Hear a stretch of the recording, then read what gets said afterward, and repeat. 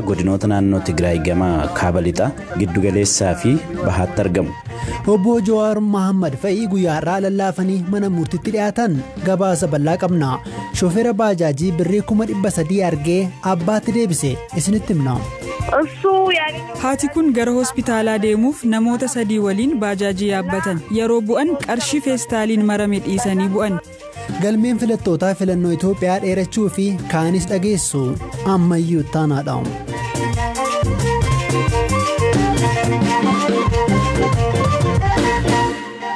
Oduu ammee qabna gaazexeessaan BBC maqaleetti hidhame kanneen ijaan argan BBCtti akka himanitti gaazexeessaan BBC Girmaay Gabruu namoota afur biroo waliin waraana Itoophiyaan hidhamaniiru.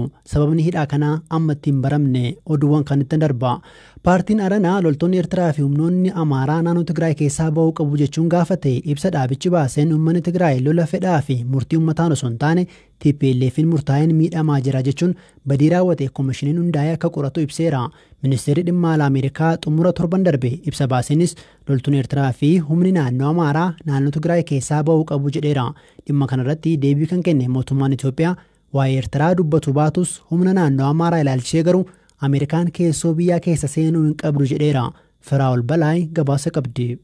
bara bulchiinsa tplf dhaabbilee mormituu naannoo tigraay keessa sochii guddaa godhan keessaa tokkodha dhaabni aranaa ibsa dhaabichi baaseen naannichatti lolli akka hin eegalle mormaa turus maqaan baandaa jedhamu akka itti mogga'e ibseera. Ta'us badiin guddaa dhaqqabuu hime. Ammallee tasgabbiin akka hin jiraanne wantoonni lama sababa ta'aniiru jedheera. Tokko seera kabachiisuuf maqaa jedhuun naannicha kan seenee humni addaa fi milishaan naannoo amaaraa lafa naannicha jala ture to'achuu ibse. Sababni inni lammataa immoo waraanni eeritiraa naannicha seenuu himeera. Dubbii himaan dhaaba aranaa amdoom gabrasillaasee akkas jedhu. ያው ኣብ ሰሜን ምዕራብ ኣብ ማእከል እና ኣብ ምብራቅ እዮም ዘለው ኣብ ሰብኣዊ መሰል loltuun eertiraa godinoota naannoo tigraay gama kaaba lixaa giddugaleessaa fi bahaatti argamu badii mirga namoomaa raawwataa jiru akka jiraattotaaf miseensota keenya irraa odeeffannetti lubbuu fi qabeenya irratti miidhaa guddaa qaqqabsiisaa jiru kanaaf aranaan gocha kana morma tigraayitii akka bahanii dhagaaffii kan dhiyeessaa jirru humni addaa naannoo amaaraas godina kibba tigraay akkasumas guutuu godina lixa Tigraay qabateera. Humni kun sababa seera kabachiisuu jedhuun naannoo Tigraay seenee humnaan lafa qabadheera jechaa jira. Kunis heera cabsuudha. Kanaaf haal duree tokko malee akka bahuudha waamicha ka dhiyeessinu. Waggootii dheeraaf mootummaan naannoo Amaaraa lafi kiyya TPLF na jalaa fudhatame jedhee komii dhiyeessuun ni yaadatama. Dhimma waraanni eertiraa yeroo lolli tigraayitti eegale daangaa cabsee seenuu isaa qondaaltonni bulchiinsa yeroo tigraay fi qondaalli raayyaa ittisa itoophiyaa kana dura ibsanis mootummaan federaalaa itoophiyaa fi mootummaan eertiraa garuu ifatti waraanni eertiraa itoophiyaa seenuu hin dubbanne. Badii waraanni eertiraa keessumaa kaaba tigraayitti raawwate jedhe mana maree itoophiyaa fi kaaniin kaafamee mari'atamuu dhabuun uummanni mootummaa irratti shakkii akka horatu taasiseeraa jedha ibsi dhaabaarana akka furmaataattis deeggarsi namoomaa akka cimu seera malee lafti to'atame jedhe akka deebi'uu fi koomishiniin walabaa badii naannicha keessa dhaqqabe qoratu akka hundaa'uuf gaafateera. Xumura torban darbetti ameerikaan ibsa baasteen naannoo tigraay keessa jiruu kan jedhaman loltoonni eertiraa fi humni naannoo amaaraa naannicha keessaa akka bahan gaafatteetti ameerikaan kana kan jette naannoo tigraayitti ajjeechaan raawwatameera kan jedhuu fi waliigalatti haalli naannicha keessa jiru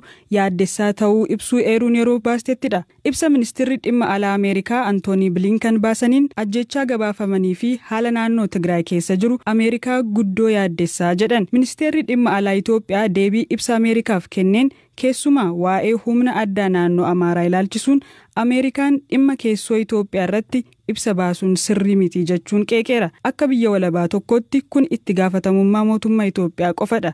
Itoophiyaan daangaa ishee keessatti olaantummaa seeraa mirkaneessuuf caasaa nageenyaa barbaachisaa ta'e kamuu bobbaasuuf itti gaafatamummaa qabdii jedhe. Dabalataan heerri biyyattii nagaa fi tasgabbii biyyattiitti balaa ta'an kamiifiyyuu ofirraa qolachuuf mootummaa federaalaa imaanaa kennaaf jechuun ibse. Ibsa ministeerichi dilbata baaseen waa'ee loltoota eertiraa wanti jedheen jiru. Ibsi ameerikaa kun qorannoo amnistii intarnaashinaal jimaata darbe baasee booda kan ba'edha gareen mirga namoomaa amnistiin baatii sadaasa darbe magaalaa aksumitti loltoonni eertiraa namoota dhibba lamaa ol ajjeesaniiru jedhee himateera. Qorannoo amnistii kana itoophiyaan mudaa qabaa yoo jettu eertiraan immoo balaaleffatteetti. Loltoonni eertiraa fi humnoonni naannoo amaaraa naannichaa bahuun tarkaanfii murteessaa jalqabaati kan jette ameerikaan mootummaan itiyoophiyaa deeggarsa namoomaa danqaa hin qabnee fi miidhaawwan qaqqaban jedhaman qaama walabaan akka qoratamu tumsuu kan jedhuu fi akkasumas itti gaafatamummaan akka jiraatu mirkaneessuudhaaf waadaan seenan akka waan gaariitti akka fudhattu eereera. Firaa'ol Balaayitu gabaase durataan paartii Aaranaa obbo Abrahaa Dastaa yeroo ammaa bulchiinsa yeroo naannoo Tigraay keessatti hoogganaa biiroo hawaasummaa naannichaa ta'uun hojjetaa akka jiran ni beekama.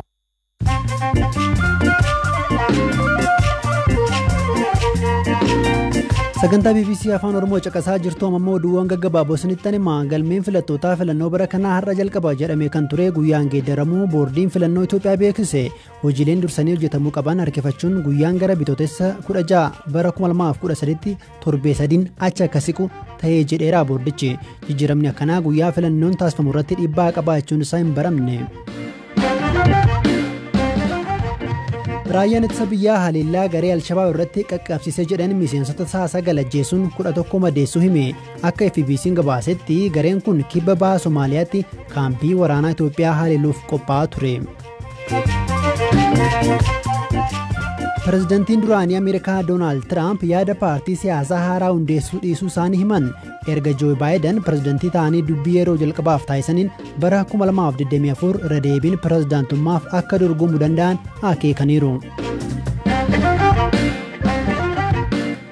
Pirezidantiin duraanii faransaay niikoolaas saarkoozii yakka malaamaltummaan himatamuun hidhaa waggaa sadiin adabaman saarkooziin yakka walxaxaan paartiin isaanii ittiin himatamaa ture akka dhokatuuf jecha abbaa seeraa dhimmi ilaallatuuf aangoo kennuun himataman. Kaadhimaan gaazexeessaa jamaal kaashogjii ilmi mootii saawudii mohammad bin salmaan kaashogjiin akka ajjeefamu ajajuu isaatiif otoon turiin adabamuu qabaa jechuun gaafatte dhaabbati basaasaa ameerikaa siyaa'een gaazexeessicha ilma mootichaatu ajjeese gabaasa jedhu gidduu kana baasee ture.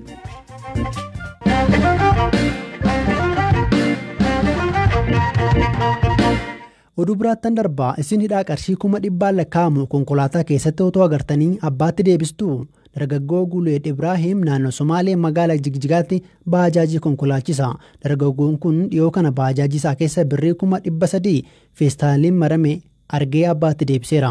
Qarshiin kun kan harmee hospitaala deemaa turaniiti. Obboleettiin guleed waan ta'e akkanaan himti.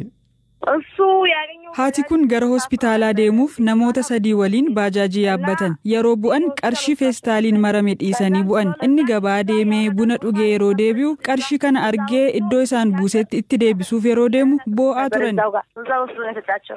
Akka Ilihaan jettutti ijoolleen haadha isaanii waliin jiraatu. Abbaan isaanii lubbuun hin jiran. Akkuma bolota isaa galee argatuun maatii isaa gargaarus qarshii argate hambifachuuf hin yaadnee jette. Guleed amanamummaa agarsiise kanaan pirezidantiin naannoo Somalee Mustaafi Mohammad galata galchaniiruu fi barnoota isaa sadarkaa lammataa deeggarsa dhabuun addaan kutees akka itti fufu naannichi akka gargaaru himaniiru. Obboleettiin isaas kanuma mirkaneessiti. Inni anaaf obboleessa koo quxisuudha. Kana duras imaltoonni mi'a isaanii bilbila fa'aa dhiisanii yeroo bu'an ni deebisaafi ture. Wanti amma godhameefi minibaasii lafaa fi carraan barumsa bilisaa kennameeraafi.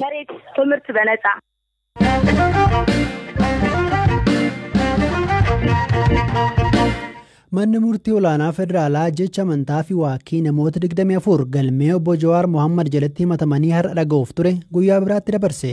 Kunis kan ta'e himatamtoonni keessumaa obbo Jawaar Mohammad obbo Baqqala Garbaa fi Hamza Adaana lagannaa nyaatarra akka jiranii fi haala jiran keessa yaada kennuu akka hin dandeenye waan ibsaniif abbaan alangees beellamni yeroo biraatti darbuu hin mormine. Guyyaadhaa torban sadii booda mana murtiitti yoo dhiyaatan qaamni isaanii laafee namatti hirkatanii mul'ataniiru.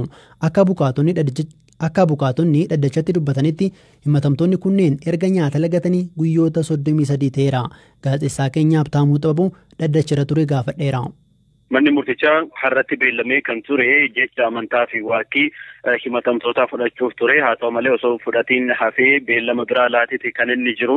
Kanaaf akka sababaatti kan ka'e immoo obbo Jawaar Mahammad dabalatee kunneen biroo jechuudha. Lagannaa nyaatarra kan jiran ta'uu isaanii fi dubbachuu akka hin dandeenye yookaan immoo haala sirriidhaan jecha isaanii kennuu waan hin dandeenyeef beellamni biraan nuuf haa qabamu jechuudhaan abukaatonni isaanii gaafachuu isaaniitiin.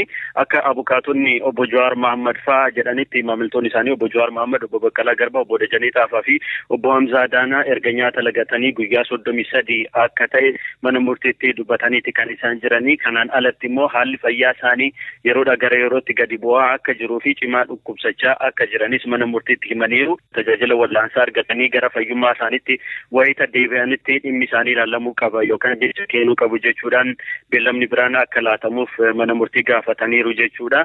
Gama biraatiin abbaan alagaas beellamni kennamuu irratti hin mormine. Haaluma kanaan himatamtoonni jecha amantaa fi waaqii akka laataniif manni murtichaa bitootessa ja'a bara kuma lamaa fi kudha sadiitti beellama qabateera jechuudha.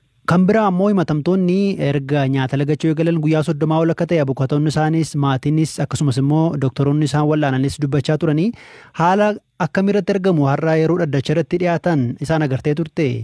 Gaazexeessitoonni gara galma dhaddachaa wayita ol seennutti obbo Baqqalaa Garbaan barcuma dagleerra dugdaan ciisaniiti kan isaan turanii mataa isaanii jilba himatamaa Arafaat Abubakar irratti akkasumas miila isaanii lamaan immoo jilba obbo Jawaar Mohaammed irra godhataniiti dugdaan ciisanii kan isaan turanii. Kana malees obbo Jawaar Mohaammed, obbo Baqqalaa Garbaa fi obbo Hamzaa Adaana qaamni isaanii kan kanaan dura turerraa baay'ee huqqatee akka jiru ilaaluu dandeetti kanan jiru. Kana malees sadeen isaanii uffata keelloo mana sirreessaa osoo hin taane akka yeroo kaanii jechuudha guyyaa irraa uffata biraatti uffatanii kan isaan dhufanii rifeensa mataa isaaniitis haaddataniiti kan isaan jiranii. Dhaddachi eegalamee wayita obbo Baqqalaa Garbaan iddoo itti ciisanii ol ka'anis deeggarsa namootaatiin kan isaan ol ka'anii ta'an jechuudha. Dhaddacha keessattis keessattuu maatiin himatamtootaa tokko tokko yeroo bu'anis ilaaluu danda'eeti kanan jiru. Tole Habtaamu dhimmi kaanii torban lama dura manni murtii yaala akka argatan keessumaa yaala mana dhuunfaa mana yaalaa dhuunfaatti akka yaalaman murteesseefi ture. Garuu agayoonaa murteen sun hojiirra hin oolle yookiin immoo mana yaalaa hin deemne jedhanii abukaatonni isaanii dubbachuu isaanii dhageenyeerra sababni mana yaalaa geeffamuu fi dhabaniif maali? Qondaaltonni mootummaarraa dhaddacha irratti dhiyaatan akka turan dhageenyeerra mee waa'ee sanatti himi. Yeroo darbe obbo Baqqalaa Garbaa wayita tajaajila wallaansaa isaan barbaachisutti gara hospitaala laand maarkitti geeffamuudhaaf ture haa ta'u malee gara hospitaala xooraayilochitti geeffamanii achitti wallaansa osoo hin argatiin deebi'uun isaanii ni yaadatama. Haaluma kanaan guyyaarraa kana namoonni obbo Baqqalaa Garbaa yaalchisuudhaaf gara hospitaala laand maarkitti ergamanii turanii fi haa ta'u malee gara hospitaala xooraayilochitti geessan namoonni lama har'a mana murtiitti dhiyaataniiti kan isaan jiranii opereeshinii yaalumsaa kana kan gaggeessaa turan jechuudha. Inspektar Dirribaa Sanbatuu fi akkasumas Antana Gabayyoo kan jedhaman jechuudha. Isaan lamaanuu wanti jedhan maalinni ajaja gubbaadhaan nuuf kenname nuyi jalqabarratti hospitaala laandmaark geessuudhaaf mana sirreessaatii fuunee baanee haa ta'u malee naannoo Meeksikoo yeroo geenyu ajajni gubbaadhaa dhufee gara hospitaala akka geessamnu akka geessinu ajajamne jechuudhaan mana murtiitti himaniiti kan isaan jiranii. Keessattuu obbo Antana Gabayyoo jechuudha. Ajajni kun jalqaba irratti bilbilaan komishinii manneen sirreessaa federaalaarraa nama obbo Jamaal Abbaasoo jedhamuun bilbilaan akka itti himame sana boodas immoo karaa moosaajii teelegiraamiitiin xalayaan barreeffamee akka ergameefidha kan dubbatanii. Haaluma wal fakkaatunis inspektar Dirribaa Sanbatuunis yaaddoo nageenyaarraa kan ka'e akka ta'e nutti himameeti garasitti kan geessine jechuudhaan dubbataniiti kan isaan jiranii. Dhimma kanarratti obbo Baqqalaa Garbaanis xalayaa gubbaadhaa ergame jedhame akka dubbisanii fi xalayaan kunis abbaa alangaa waliigalaa kan ta'an Dr. Geediyoon Ximooteyoosiin kan barraa'ee kan mallatteeffame ta'uusaa akka ilaalan mana murtiitti har'a dubbataniiti kan isaan jiranii. Manni murtichaa dhimmicha akka qoratu beekseeti kan jiru. Haaluma kanaan dhimmicha ilaaluudhaaf bitooteessa ijaa bara kuma lamaa fi kudha sadiitti beellama qabateera. Guddaa galatoomii Habtaamoo dhaggeeffattoota keenyaa sagantaan BBC Afaan Oromoo wiixata galgalaa xumuramutti jira.